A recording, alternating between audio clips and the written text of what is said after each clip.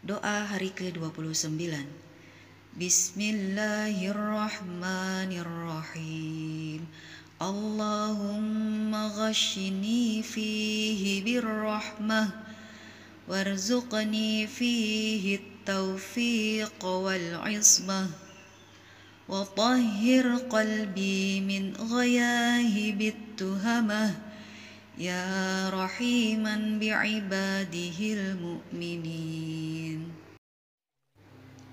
Ya Allah, lingkupilah aku di bulan ini dengan rahmatmu, anugerahilah aku taufik dan penjagaanmu. Sucikanlah hatiku dari benih-benih fitnah atau kebencian.